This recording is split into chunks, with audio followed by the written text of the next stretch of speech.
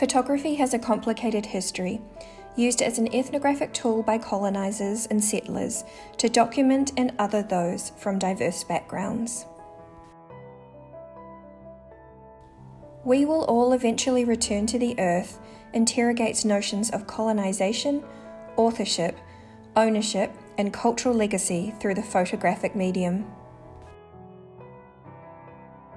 The exhibition presents works that challenge, agitate, and question photography's history through multiple perspectives and voices to offer an alternative to the Western ideologies that have been presented for years.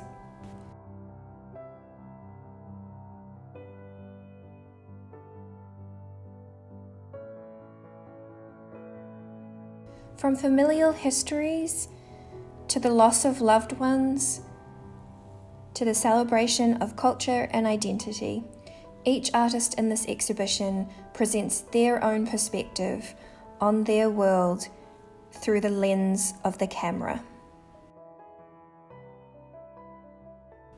It is important to note that this exhibition is not a conclusion, but rather a celebration of these diverse voices and the way that they are using photography to insert themselves into history and to art history where they have previously been left out.